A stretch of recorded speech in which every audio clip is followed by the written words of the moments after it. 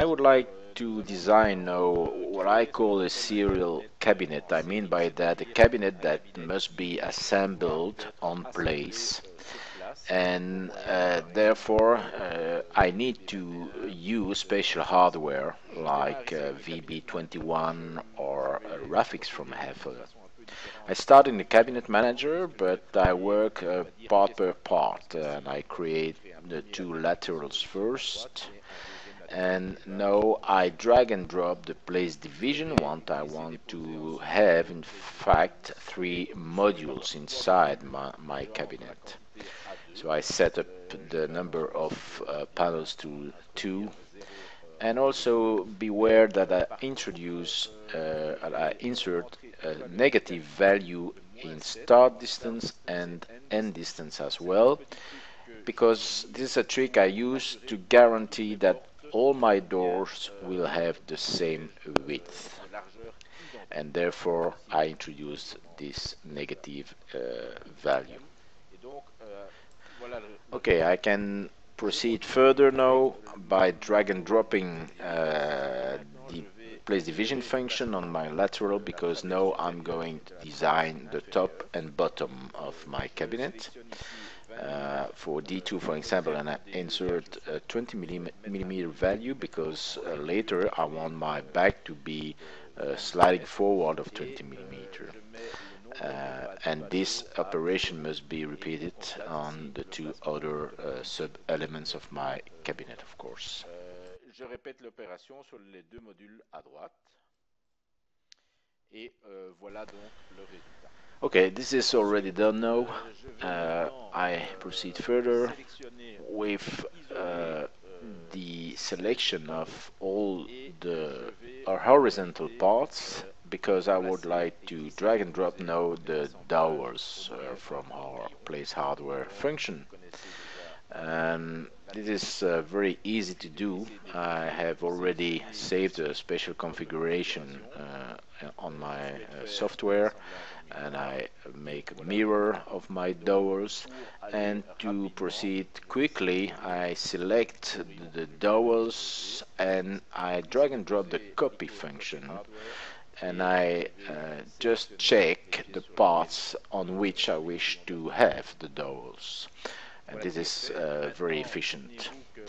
Uh, indeed, uh, you can see by yourself or notice that uh, actually the depth should be uh, adapted because in this in this case this is not a big problem, but anyway it, it can be done. Uh, it doesn't matter too much at, at this time of the uh, design. Now uh, I'm going to uh, drag and drop the place hardware fun function again, but this time to uh, manage the placement of my uh, connection connectors, VB21 of Hettich, and, and I make a mirror as well. Unfortunately, I cannot, for this uh, particular uh, hardware, I cannot use the copy hardware function. Why? Because in this case, uh, for three parts, uh, the bottom parts, the, uh, the, the, hardware would not be prop properly set up on the right face. So I have to proceed part uh, after part. Well, this is done. Uh, I can now proceed to um, to place uh, to place the, the, the backs. And I remember that I wanted to have a back of 8 millimeter and slide it forward of 20 millimeters. That's what that's what I'm going to uh, do now in this wizard. So in in in y 20 z is equal to 0 and uh, the thickness of my back is 8 millimeter. And okay the the uh, back is properly uh, in place now. And I have to repeat of course uh, this operation on the two other uh, sub elements of my cabinet. So that is very easily done via the cabinet manager and again uh, introduce the right values in in Y and Z and a thickness of 8 millimeters. So uh, now the uh, three backs are properly uh, uh placed. I'm going to proceed further with the fitting. So in this case, I would like to have uh, blocks of five uh, holes with a separation of 150, uh, 150 millimeters and via the material placement wizard that can very easily manage it as well as you can notice by yourself. And I repeat this operation on all the later laterals that need to have this. Regarding the fitting it's uh, okay. We can proceed further now. And of course the customer would like for sure to have uh, shelves inside his uh, cabinet. So I drag and drop again, uh, place division. This time I would like to reduce in the front of the um, shelf uh, the distance to have a distance of 20, uh, 15 millimeter, for example, and I wish to have uh, five shelves for inside each element, and that is very quickly and user-friendly done via uh, our manager and cabinet manager as well. And uh, now I need to, um, to care uh, to take care of my groove for for the backs. In, fa in fact, um, and this is also very user-friendly done with the cabinet manager. You can notice here that by selecting the back, I get a special icon regarding the enlargement of the of the backs, and via the, the manager here via the wizard I can introduce or insert uh, different values. Uh, for example in this case I would like to have a groove of 5 millimeter depth but I can also uh, insert allowance for the, the width of the, the, the, groove and the depth of the of the groove as well. And in this case I also uh, wish to uh, to route or to yes to route the groove with my uh, saw blade on the CNC machine. And uh, these are all the parameters I need uh, to, to insert via the, the wizard to manage this properly and again uh, this must be repeated on the other two uh, backs. And I must uh, just take care of the right values to be introduced. And if now I verify uh, this I can notice that uh, indeed the back is correctly positioned.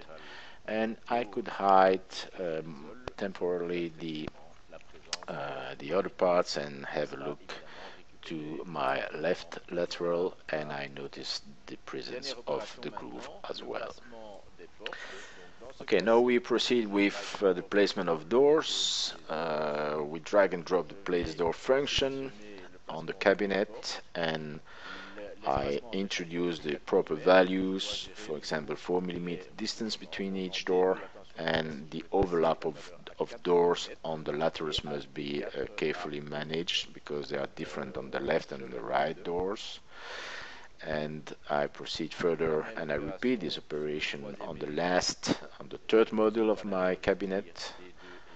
In this case, uh, D4 is equal to, uh, to 4 and D2 to 11. And for the middle sub-element of my cabinet, I repeat the operation as well, but D2 and D4 values are equal now. Okay, remember that at the beginning of this demo I wanted to make sure that all the doors would have the same uh, width and uh, th therefore I had introduced a special negative value of 7 millimeter. Now it's time to verify this if indeed uh, this is well uh, the case and yes I check, I verify and I select uh, each door and I can notice that eff effectively uh, the width of each door is uh, the same. Now uh, have to proceed with the, the hinges and we are going to use for this to drag and drop the place hardware function again on each door. And uh, via uh, my wizard I can select very user-friendly uh, in my virtual library of uh, hardware the proper hinge. In this case it's a clip top of the Blum company and I introduce five as number of uh, hinges that must be uh, placed on the head of the of the door and this is uh, properly done and at the end I can verify by myself inside the cabinet that all the hinges are properly uh, set up. Okay, so uh, now it means that normally if I edit the dimension of my cabinet, if I make it larger, I understand that all doors should keep the same width. Uh, and indeed, I can verify by myself by selecting door after door and I can verify that effectively the width are the same which is exactly what I wanted to, to do. Okay, I hope that you agree that this application based on IronCAD is really user-friendly for woodworkers and this project can now be transported automatically to your CNC machine with our CAM system. If you are interested by our CAD-CAM system, do not hesitate to call me or send an email.